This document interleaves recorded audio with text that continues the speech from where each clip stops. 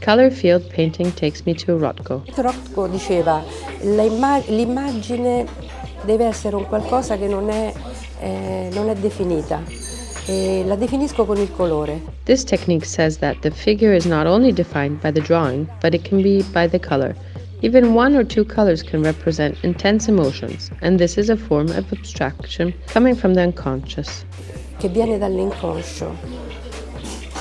Il dripping che usava Pollock era Pollock's dripping was rebellion, was his need to express his complex relationship with his mother, who was overbearing. This made him a rebel who refused the schemes. The color was his meaning of expression for all this.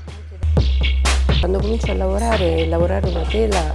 I started working without a rational plan. The color, the gestures guided me. Mi, aiuta, mi aiuta molto il colore.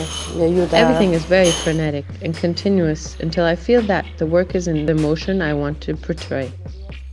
Affermare perché eh, fino a che non sono veramente riuscita a dare un'impronta. Quello... It is very difficult for me to intervene for corrections.